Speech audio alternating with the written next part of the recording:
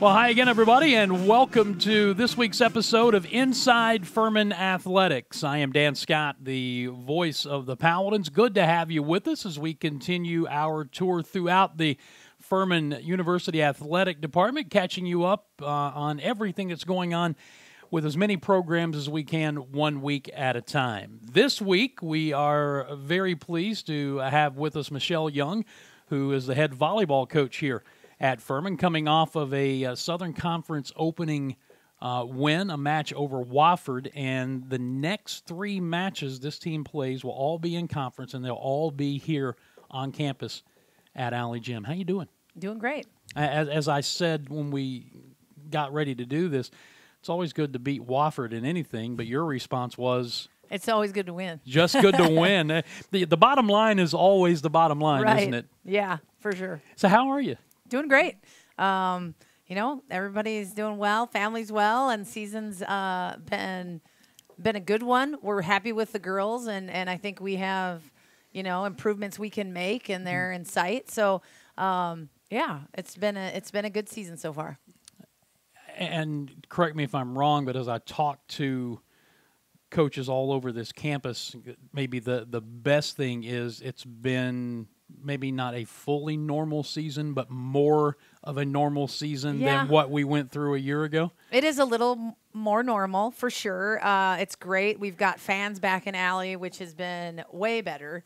Um, than and um, in the beginning, it did start off where it was a little bit. You know, I think everybody's like, "Yes, it's going to be a normal year," and then we quickly found out we were not fully back to normal. Um, you know, there were s- teams that were missing matches or trying to pick up matches. We were getting emails from teams that maybe were supposed to go play someone nearby that fell through. You know, that's not normal.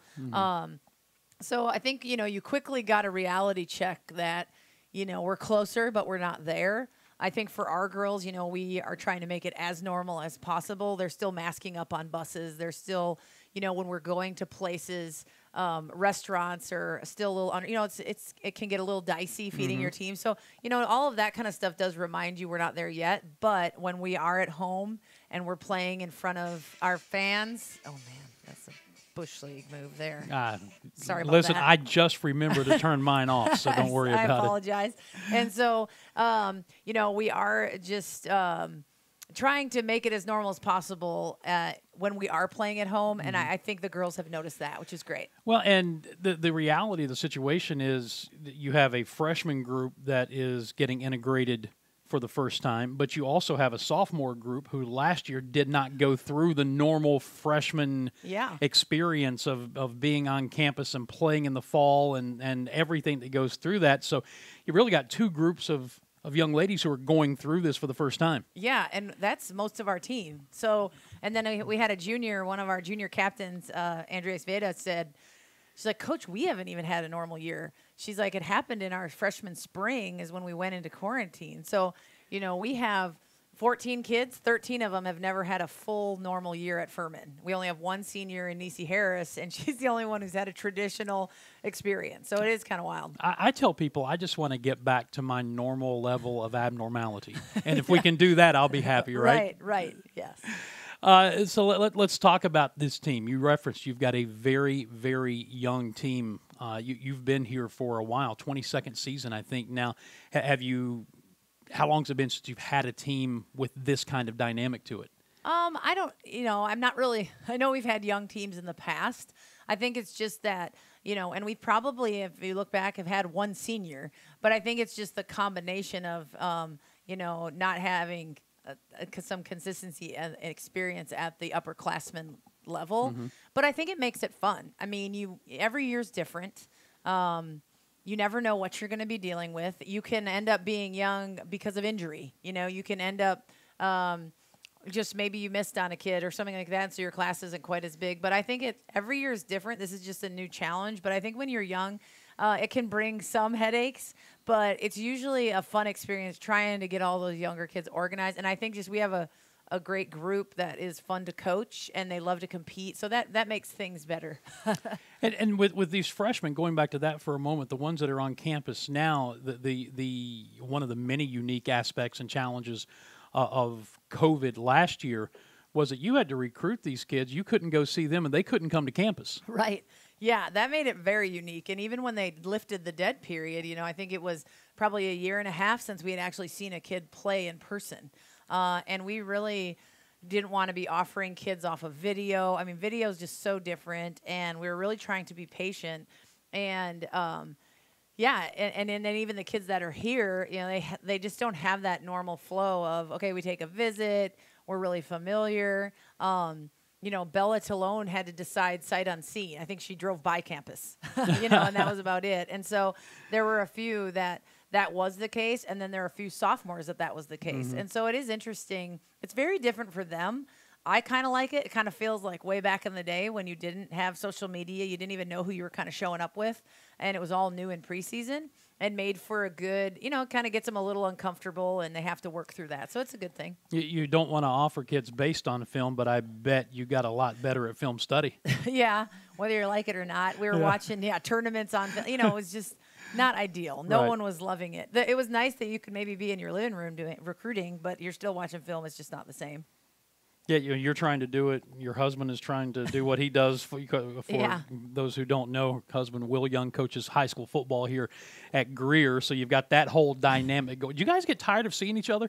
Well, we don't see each other in the fall, so I guess we can't get tired of not, you know. but, but during COVID, when you were oh, kind oh, of no, re- it was great. I think we were kind of like, oh, you know, because our kids, we weren't running kids to practice. We weren't, you know, we were all home and we didn't have anywhere to be. I think it was the that we no one had anywhere to be, so there was no, you know, fear of missing out or anything going on. Uh, there's no, we actually. It was great. We uh, really uh, got some good rest and some some time together. It's kind of like my wife and I. It was you know one day it was almost like, hey, I remember you. Yeah, we do get along still. Yeah, okay. exactly. Yeah, Imagine sure. that. But you're kind of back at it now. Everybody's doing their own thing, and you're off to a six and five start. Uh, but the big one, obviously, was beginning conference play, and that was a road win. Yeah. uh, at Wofford, you won three matches to two. Your 375th career victory. Oh, really? Yeah, that's, oh, what Wesley wow. Herring tells me. Well, Wes would know. I would not know. Wes would know. So that's that's. You, you don't have you don't have the little little chalkboard at home. No. Well, that's good. that's good. Uh, tell me about that match because that's uh, it's a, you know obviously a great way to get the conference playoff and to win on the road and, and to beat one of your big rivals. Yeah. Um, well, we, you know, we felt good going into it just because I think the girls had had a challenging preseason um, where we saw a lot of good volleyball. So we felt prepared going into conference. Going to Wofford's always, you know, a challenge because it, it is close. You know, it's it's not the travel's not too far, so it is nice. Um, but Wofford's always tough, um, and it's always tough to play there. Um, just because we knew it would be their their home opener for conference, uh, they're going to be pretty fired up, and I think that um, we did a really good job of battling, and I think we showed our um, ability to compete in big situations where we were able to, you know, kind of come back. They left the door open a little bit, and we were able to get in there and, and push it to five, and um, and then really dominated in the fifth. I was really proud of our girls at how confident they came out in the fifth. Yeah, and the, the, the, spring wasn't exactly what you'd hoped for having to play in that season and everything that went into that. W- What potentially could this win mean for this young team moving forward? I mean, I think it's just a confidence builder for them, and you know they're interested to see. You know, I think we were picked maybe sixth or something. You know, nothing to get too excited about, uh, and so I think they want to, you know, prove that they're better than that, and they want to. Um, they're learning how to compete and win together, uh, and so doing it on the road and then doing it in a you know, kind of got a little sticky situations over there, and they were able to come out with a win. I think it was a huge confidence builder, but you know, that's done. We've got to move on and and hopefully take what we can into the next weekend. You know, this obviously isn't your first rodeo, but when you see your team pick six, do you get a little extra motivated and do you kind of pass that along to the kids, or do you just kind of keep, you know, let's not worry about that and let's go on Yeah. about our, th- our business? I don't really put too much stock in it. I think you know it always you- the- fuels the, you. The, the media, you probably shouldn't. You know, Yeah. well, I mean, I just preseason polls and preseason. Nobody's done anything yet, and Right. you know, a lot of things happen in the off season, recruiting, um, training, you know, injuries, coming back from injuries. I just think you know it's not really based on a lot of facts, so we don't put too much stock in it. But it always motivates you to you know try to do that, um, you know, exceed expectation and all of that. Um, but yeah, our, our mo- nothing changed. We didn't talk about it at practice, but you know they know, and you know they see that kind of stuff, and I think they're they're high achievers. They're competitive, you know, enough that they're going to want to prove everybody wrong. But we have to work hard every day to be able to do that. We can't just get mad about it and think we're going to do it. So, um, really working to get them to understand how hard we have to work day in and day out to achieve those goals has really been the focus. Michelle Young is our guest on this week's episode of Inside Furman Athletics in her 22nd season leading the Furman volleyball, volleyball program, five time SOCON Coach of the Year and has led this program to two NCAA tournament appearances in 2008 and 2015. Six and five on the season right now, one and zero oh in Southern Conference play with three huge conference matches coming up in a row at home, which we'll talk about here in just a bit. Let's talk a little bit about some of the players on your team. Uh, with, with, not much to, to choose from as far as experience, who are you relying on for your leadership? Uh, well, we have, you know, Nisi Harris is our one senior. She's our, our one, you know, player currently on the roster that's kind of an all conference player. She's been two time first teamer. She's a preseason um, pick. She does a lot for us in the middle, does great things, and is a, you know, great competitor. Um, and then we have um, Andrea Sveda, who has uh, been our libero for the last two years. Uh, she brings a lot of experience, only being a junior. Um, you know, she's started in that role since she got here uh, and has done some great things. So she's doing a great job. Uh, we have two setters coming in that are running the 6 2. They did not run it last year, but Ella Abraham is a uh, sophomore. Sarah Turner, who actually was a defensive specialist for us last year. Um, but is a is a setter and has done a great job getting ready because we we kind of warned her she'd be stepping into that role a bit, mm-hmm. and um, that's what she is. She is a setter, but she's great defensively, and uh, again, just a a great knowledge of the game, great player, and is so versatile. So her and Ella have done a good job this preseason of running the offense. Uh, and then we have so much depth in our pin hitters. Uh, they're all young, but they all do um, some really good things, and they're kind of interchangeable. Um, so we're excited. Our freshman Bella Talone has done a great job outside for us. Um, and Maya Marus has become very consistent for us, doing great things with um, her defense, her serving and passing, and is um, getting more and more um, success in the front row for us consistently. And so, you know, we're really excited. We've got um, lots of players that can help us do the things we want to do. And leadership can come really from anywhere, can it? Yeah, and we have three our three captains this year: are Nisi Harris, uh, Ace Veda, who's and and Sarah Turner, who all have different personalities. They all play different positions. They all uh, approach the game a little bit differently, and so I think it just is good to have that, you know, um, just different players players respond to different players. And so i think we have a good balance there. And and they're all players that have had to carry a big role. So i think that's a, a good for our team how has the the sport of college volleyball changed since you took this job? um, the rules have changed. You know, the scoring has changed. A lot has changed. I think we've kind of landed on something here for a long stretch mm-hmm. of time. Um, I think you know the players are becoming very very dynamic. They're they're bigger. You know, they just keep getting bigger. Um, but I think you know kids are specializing a little bit more, so maybe they're not as well rounded as an athlete.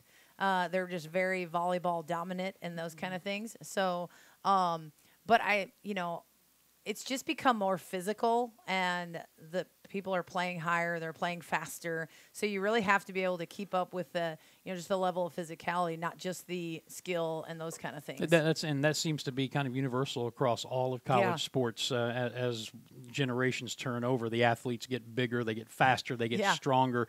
How does that then change the style of play for you know not yeah. not the rules throw that out for right, a minute right. but the style of play. I think it's just you know you have like at a at a furman you know you're having to kind of find that balance of okay now is this player am i giving up athleticism for size? Am i giving or vice versa? Mm-hmm. you know is this player skilled enough to play at the size they are? Uh, and kind of picking and choosing. I have a lot of colleagues that are like nope we we're going for this size. We don't want any but we don't we don't care how athletic or how well they play. They have to be this size you know, I think that happens with football, with linemen, and you know, no, they have to be this tall.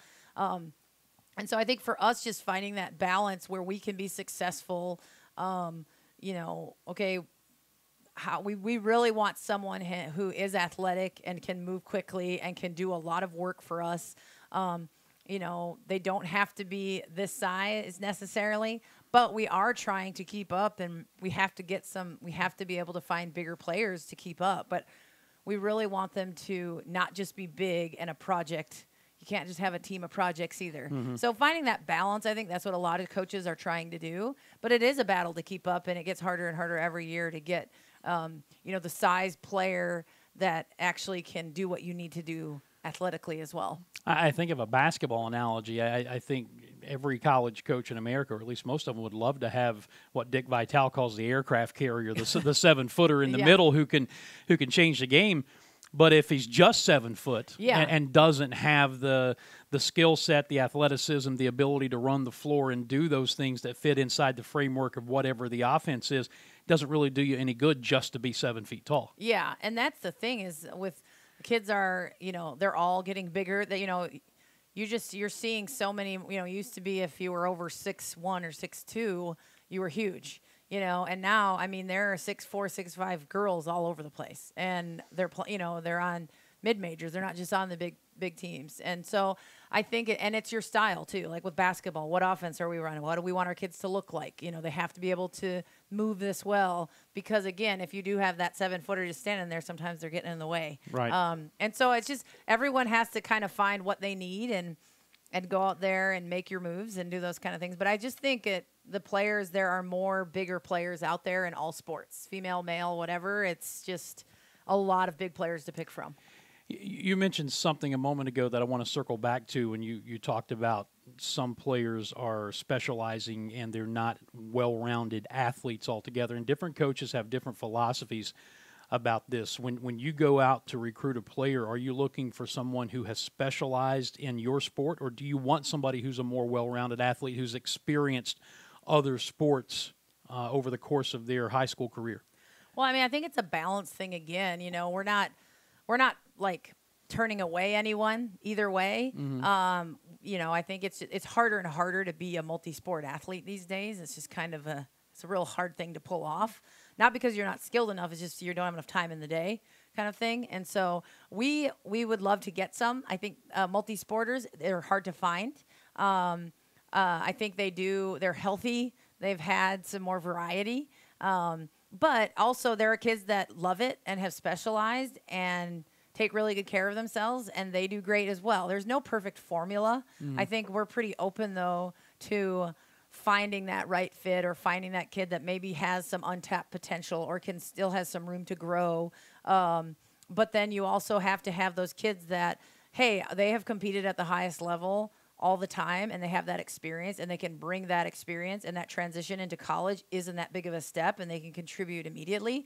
I think just think it is finding the the balance and putting your roster roster together that's going to allow you for the most success. Both you need you need some you can count on mm-hmm. a- as much as possible and then you need some that are going to grow and continue to get better as well. So basically, it, it's whatever's going to make the program better. That's you gotta- that's who you're going after. You got to put the puzzle together. Yeah, Yeah, right. and you got to have the players to do it. So, And then the other piece of this, obviously, is not only do they have to be a great athletic fit, but at Furman they have to be a great academic fit, which I know shrinks the pool of available athletes that you can go out and recruit. Yeah, it does. It brings challenges, but I think I'm in a sport that there are a lot of very talented players that are also talented in many areas, and they fit Furman very well. And so uh, that's you know something that you know I think is allowed.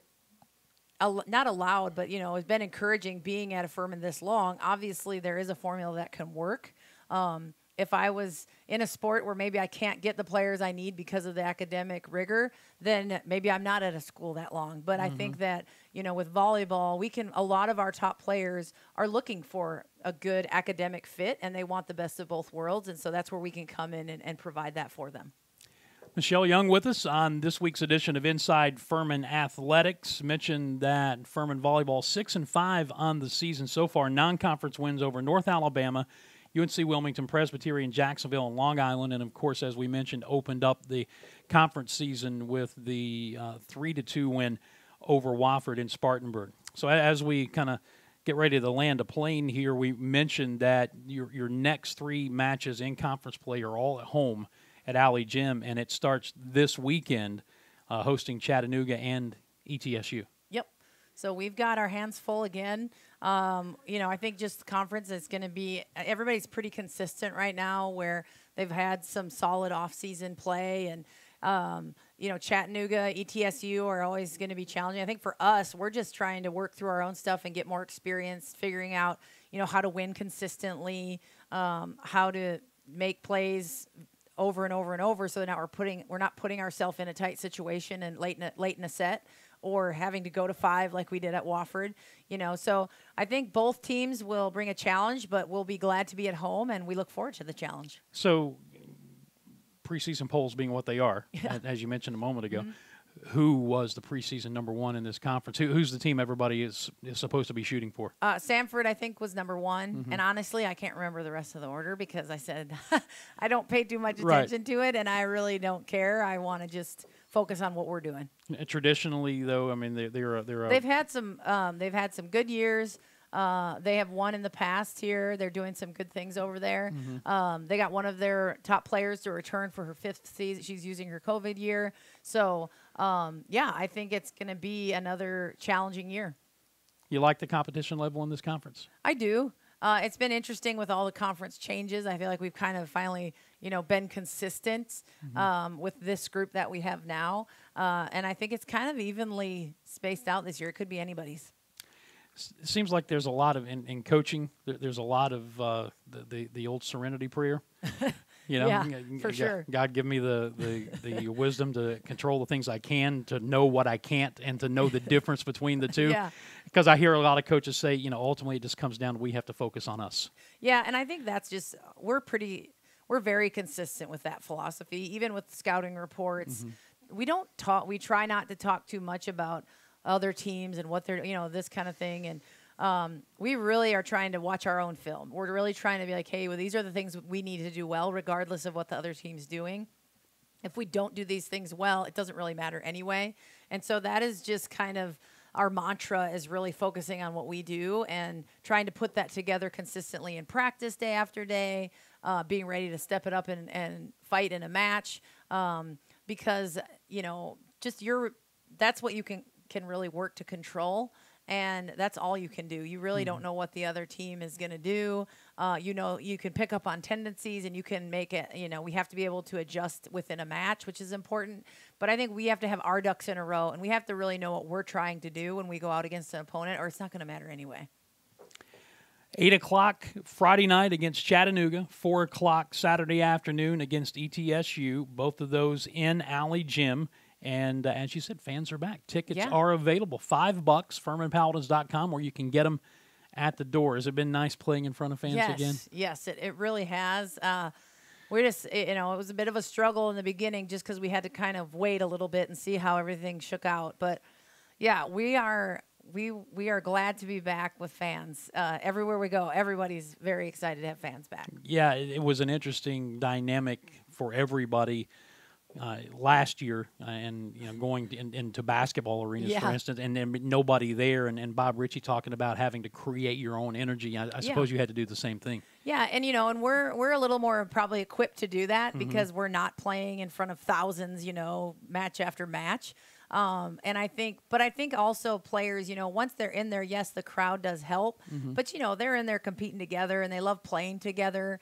Um, you know, and it's just but it is nice to have some some energy out there and you can feed off it um, but at the end of the day you have to be ready to do your thing on your own and mm-hmm. then that can just add. You don't want to be dependent on that. Yeah but you got to have some students in there to heckle the other Heck team yeah. right? yeah. For sure.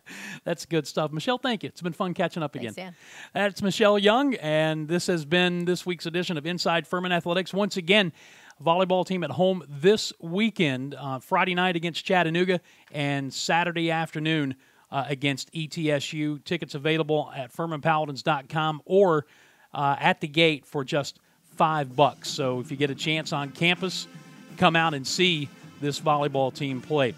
We will be back again next week with another edition of Inside Furman Athletics. Until then, for Michelle Young, I'm Dan Scott saying God bless you. so long, everybody.